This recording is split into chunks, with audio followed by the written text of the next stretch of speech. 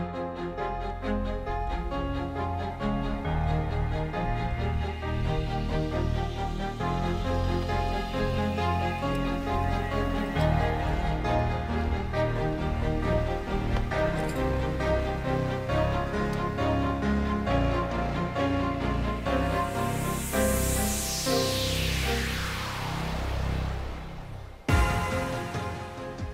Hi everyone, Jordan Weeks for Biological Angler Productions with another Whiteboard Muskie segment. This is volume number 9. We've been doing this for a couple months. Uh, been very well received by y'all, so thank you very much for watching. Um, this is going to be a, a, description of a fish that I caught, one of my heavier fish of the year last year. It was a 4 footer, uh, 48 and a half, that weighed pretty close to 30 pounds. And I caught it in a spot where um, I had not caught a muskie previously, but we had seen a number of fish. Um, the interesting thing about this particular location is that this underwater rocky point is not listed on any of the maps. So the only reason I knew it was there is because I actually ran the boat over it the first time coming in here and I hit hit, hit a rock with a trolling motor. So um, in subsequent trips, I would I kind of mapped out this spot. And this point is just typical of a great musky spot on Lake of the Woods. It's not on any map and it can really be one of those like kind of almost secret spots that hold big fish on occasion.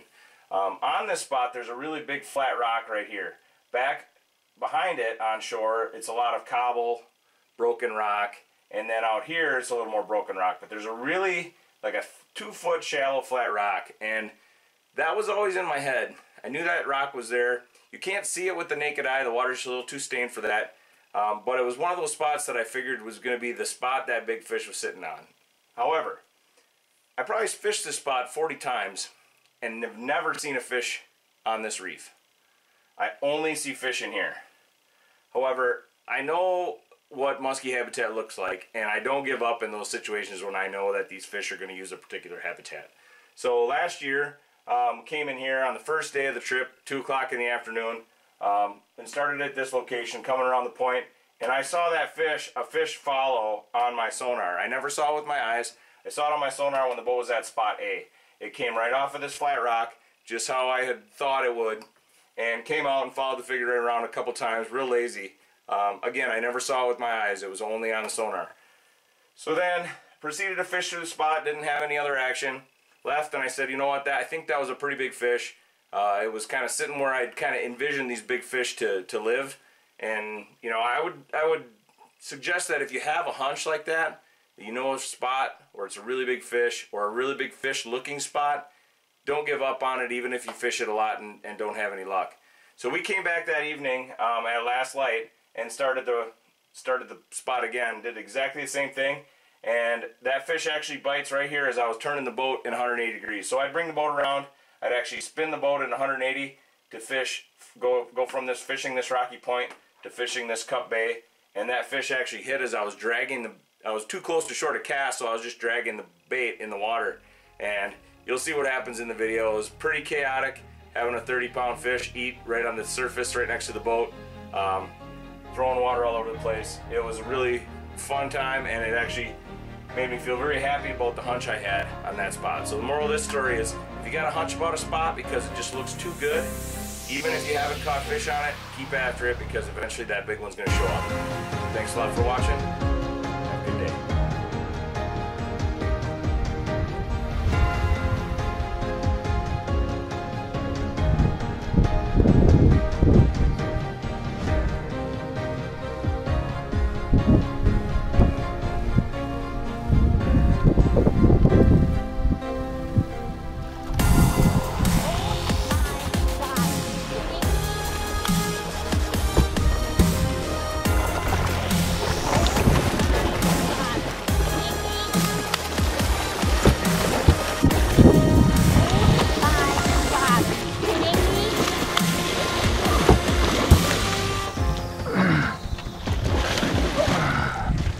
Just dragging it.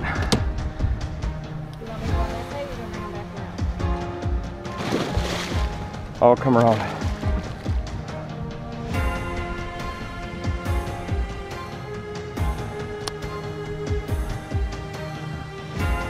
No.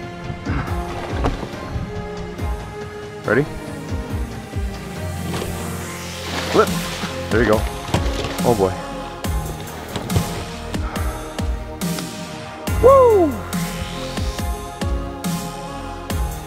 Big old fish with a B52.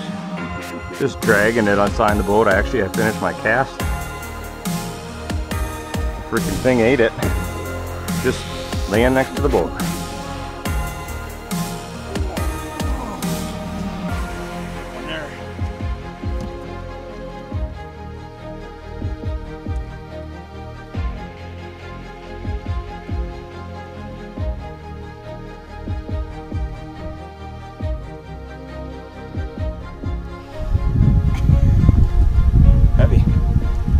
Lake XB52 walleye, whitetail walleye.